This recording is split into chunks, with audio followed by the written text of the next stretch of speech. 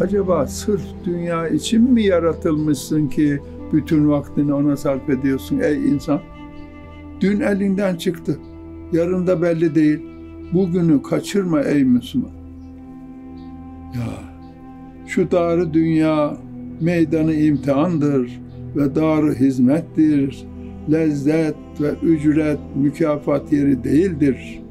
Bediüzzaman Said Nursi radıyallahu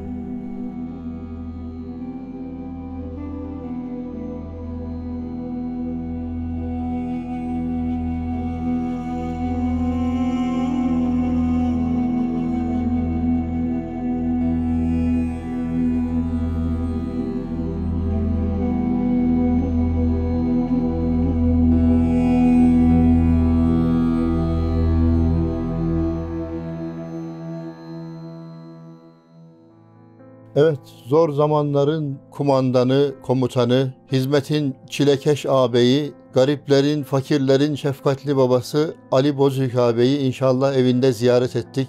Onun hayatından alacağımız çok dersler var. 90 küsür senelik ömrünü hizmette geçiren, hizmetin her safhasında fedakarane koşturan, bizzat kendim son 25 yıllık Bursa'daki hayatımda bizzat kendi gayretlerini gördüğüm ağabeyimiz Ali Bozüyük ağabeyimizi ziyarete geldik. Onun hayatından inşallah güzel hatıralar beraber dinleyeceğiz. 25 3 1932'de Afyon Sandıklı kazasında dünya gönderdi Cenab-ı Hak bizi. Ve orada çocukluk hayatımız, ilkokul hayatı vesaire, ortaokul hayatı Afyon Merkez, ondan sonra lise bölümünü motor bölümü olarak Edirne'ye gönderdiler. Milli savunma hesabına okuduk. Edirne'den mezun olduktan sonra askeriye dahil olduk. Askeriyede başçavuş olarak vazife yapmaya başladık. Ordunat Okulu diye Ankara'da bir yerimiz vardı askeriyenin. Orada en büyük fabrika askeriyenin motorize durumuna geçiyordu şey süvarilikten. Orada 250 assubayı bir araya getirdiler. Türkiye'nin en büyük fabrikası olarak orada çalışmaya başladım. 7 sene 1957'ye kadar orada 7 sene orada kaldım. Ondan sonra şark tayinim çıktı Ağrı'ya. Bir rahatsızlığım vardı. Gideyim mi gitmeyeyim mi rapor alın bilmem ne falan derken bunu tedavi eden yarbay doktor gittim. Tam kapısına vardım rapor almak için. Elimi tuttum, kapıya vuracağım sırada içimde bir ses, vazgeç, kaderine teslim ol. Ondan sonra tam da Ekim ayı son zamanları Ağrı'ya üç günlük yolda gittik. Bir tane kız çocuğumuz vardı, dört yaşında. Üç günlük yolla Ağrı'ya. Ağrı'dan Tahir Dağları böyle tehlikeli, yüksek bilmem ne. Ağrı'ya vardık. Ağrı'da şeye teslim olduk. Birliğe. Ondan sonra bir küçük hatıra. Orada baktım çarşıda bir tane çeşme akıyor. Tası altı delik. Herkes su içmek için alıyor, ağzına varmadan dökülüyor. Ya bu tası dedim ben bir tamir ettireyim ama zincirle bağlı. Acaba beni yakalarlar mı hırsız diye falan derken sağa sola baktım tamire götürdüm. Ondan sonra onu tamir ettirdim yere oraya taktım. Fevkalade bir şekilde orada birliğe devam ettik. Son şey olduğu için e, tatbikat için bizi son ay yani kar böyle şey her taraf su yok. Abdest alacak su yok. Her taraf kar tatbikata çıkardılar. Arabanın içinde yatıyoruz. Çok soğuk. Bir abdest alacağım ihtiyacım oldu da baktım bir buz var. Altından su akıyor. Oradan buzu kırdım. Abdestimi aldım falan şudur budur. Bu şekilde oradaki hani e, tatbikatımız da bitti. E, vazifeye gidip geliyoruz. Bıyıklarımın üzerinden bembeyaz oluyordu. Kar oluyor nefesten. Böyle gidip geliyoruz yayan. E, birlikte öyle bir şeyler var ki 30 tane personel var. Bir namaz, niyaz kılan yok. Yalnızlık hissediyorum. Bu şekilde yaşımda o sırada e, kaç oluyor 1957'de 25 falan 27 falan olabilir. Bu şekilde birliğe devam etmeye başladık. Ben e, tabur komutanına, yarbaya dedim ki ben komutanım bir cuma namazına gidebilir miyim? Bir kişi namaz kılan var işte. Bana dedi ki gidebilirsin. Çarşıya Merkez Camisi'ne gidiyorum. Herkes bana bakıyor. Resmi elbiseyle mecburi öyle gidiyorum. Çünkü e, birlikten ayrılıyorum falan. Çok hürmet ediyorlar. Bilmem ne şudur budur. Elhamdülillah böyle her hafta bana izin verdi. Bir arkadaş daha izin istedi ona, tabur komutanına. Ve olmaz dedi ona. Ya Ali'ye niye izin veriyorsun? Bana da izin ver. O ciddi gidiyor dedi. Seninki güvenilmez manasında ona şey etti. Böyle bu şekilde şeylerimiz devam etmeye başladı.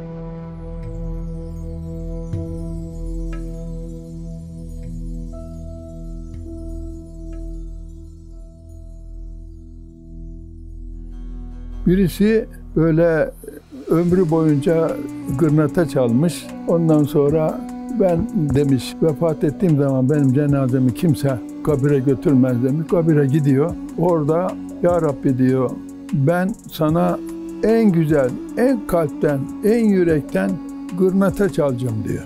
Ben çünkü başkaları götürmez diyor kabire. Orada başlıyor çalmaya, ağlıyor, ağlıyor, ağlıyor. Neticede orada vefat ediyor. Rivayetler ilham ediliyor. Hazreti Ömer radıyallahu anh mı veyahut da öbür sahabeler falan. Diyor ki benim bir has kulum var. Gidin onun cenaze namazını kılın diyor. Geliyorlar bakıyorlar ya kim bu? Ya bu gırnata çalan bir insan nasıl? Yere basacak yer bulamıyorlar. Melekler dolmuş.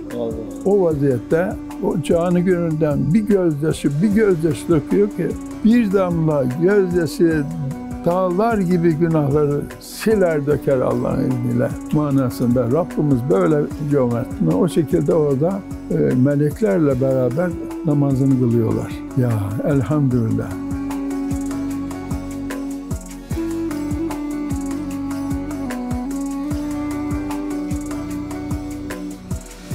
Sicilme nur talebesi olarak yazılmış Ağrı'da. Ondan sonra general beni çağırdı. Dedi ki Ali dedi ben dedi senin hocalarından daha iyi şeyi bilirim dedi. Dini, İslam'ı dedi çekmecesini çekti. Bir tane böyle e, Hürriyet Gazetesi'nin broşürünü okudu. Bak ben bunları bile okuyorum dedi. Allah'ın hadisinde nur talebesi yoktur dedi.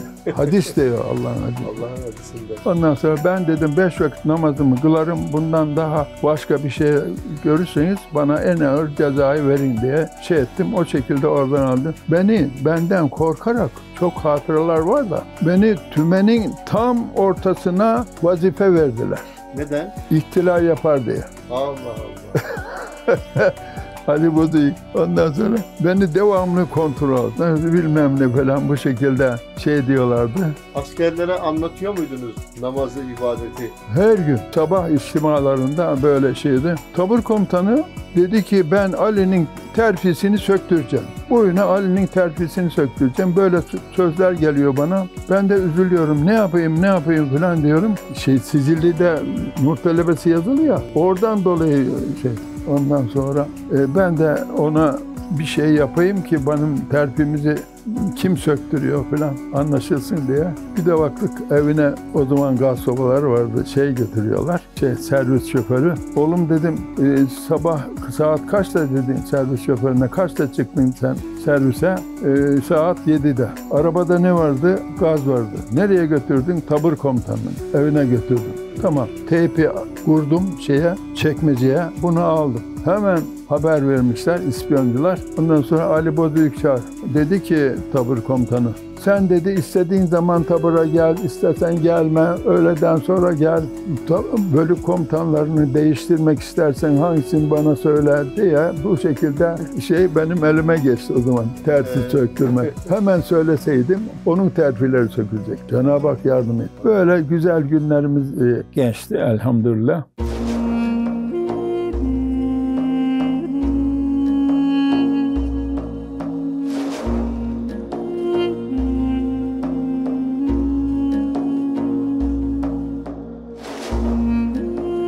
Sırada Ispartalı bir arkadaş e, bana Sözler isminde bir kitap getirdi. Dedi bunu sana vermek istiyorum dedi. Nazif isminde. E, benim dedim borcum var şimdi alamayacağım. Ya dedi taksidinen vereyim. iki buçuk lira taksitle Sözler bizim eve girdi. 1957. Toplam kaç para? E, yir- 22 buçuk lira. Onu birine verdim ben bu böyle buradaydı. He, o şekilde Risale-i Nur eve girdi. Yani bu şekilde valla Ağrı'da 3 sene devam ettik. O 3 sene içerisinde çok şükür e, her türlü böyle samimi bir hava içerisinde herkes bize bir yakınlık duyuyordu. Tabur komutan olsun, arkadaşlar olsun bilmem ne falan. Üç sene içerisinde elhamdülillah biz de orada Allah bize bir bir erkek çocuğu şey etti. Recep ayında. Adını Recep koyduk. Üç gün yaşadı, vefat etti. Recep. Ondan sonra o- o arkasından böyle bir zaman geçti. Muharrem diye bir evlat gönderdi Cenab-ı Hak rahmet hazinesinden. Ondan sonra o da vefat etti. Orada iki tane oğlum Ağrı'da bulunuyor. 1957-60 arası. Ve oradaki arkadaşlar, nur talebeleri dükkanlarını kapattılar. Cumhuriyet Caddesi'nde bizim evde üç gün benim yanımda taziyede bulundular. Çok böyle hürmetli anne baba gibi böyle bize yardımcı oldular falan. Üç sene içerisinde çok güzel. Orada Risale-i Nurlarla ilgili derslerde akşamları onun onların evlerine gidiyorduk.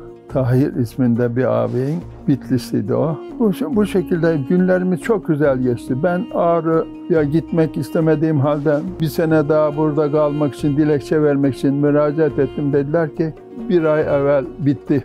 Müracaatın kabul olmaz, olmaz dediler.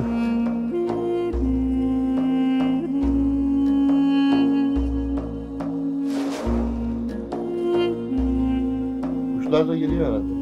Heh, kuşlar geliyor. Bizim bir 59 yaşında kızımız vefat etti kanserde ondan sonra. O kuşların kumru onlar. Onun adını Halde koyduk. O da. Ona yem veriyoruz. Halde geldi diyoruz. Geliyor mu? Filan. He. Şehit olduğu iki, iki kişi Resul-i Ekrem Aleyhisselatü Vesselam rüyada görerek şehitliğini söylediler. Hatta Mehmet Seki onu doktora götürdüğü zaman bir profesör demiş ki bu insan yaşıyor mu demiş. Bütün vücudunu tam olarak sarmış. Ya Cenab-ı Hak onu boş bırakır mı? Bir de mesela iki tane evladımız var Ağrı'da. Erkek. Bir tane Adapazarı'nda kız çocuğumuz var. Sübiyan orada. Etti üç. Bir de bu şehit var. E, Rabbimizden ümit varız inşallah. Allah bizi onlara kavuşturacak. Ya ya Cenab-ı Hakk'ın lütfu keremi bol, rahmeti bol inşallah. Allah'ın izniyle.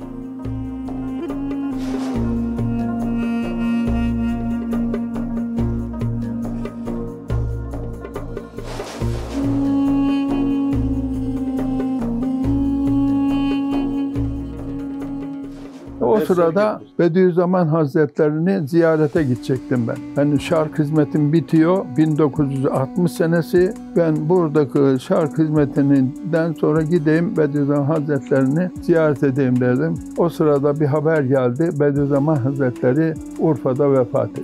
Gıyabi cenaze namazını kıldık. Orada ağabeylerle beraber. Risale-i Nurlar falan böyle sanki cephane gibi, bomba gibi yasak. Her sabah askerler sabah içtimada herkes eli, evindeki, elindeki, cebindeki ne varsa boşaltsın derler. Risale-i Nur arıyorlar. O kadar yani Risale-i Nur'a düşmanlık veya İslamiyet'te düşmanlık gibi.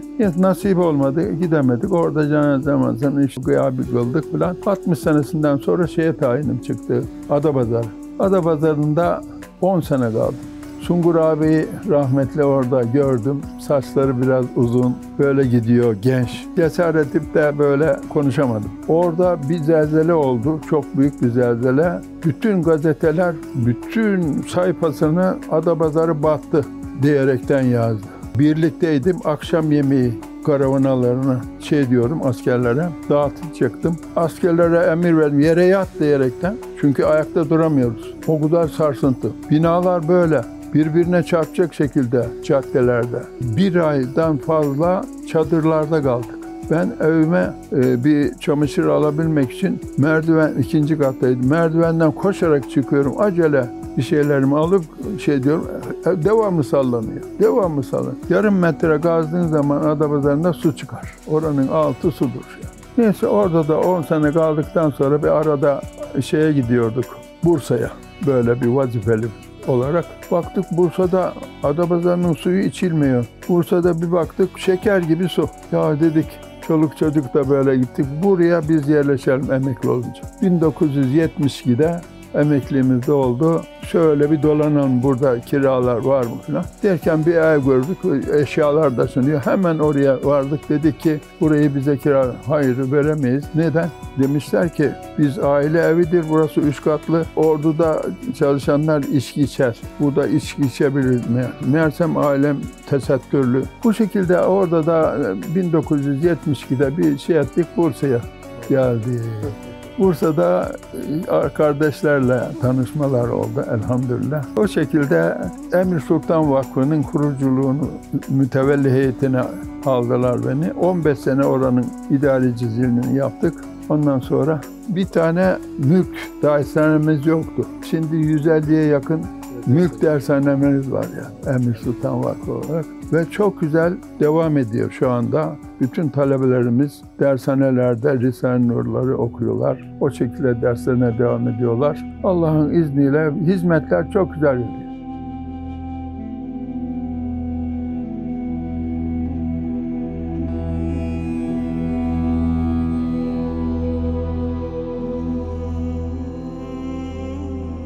Allah sizlerden razı olsun. Böyle hatıraları canlandırmak veyahut da onları saklamak, başkalarına duyurmak meseleleriyle ilgili güzel bir şeyler düşünmüşsünüz. Çok teşekkür ederim. Çok memnun oldum. Allah razı olsun.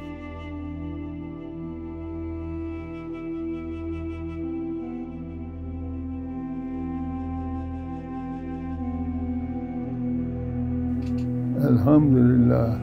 Elhamdülillah. Elhamdülillah.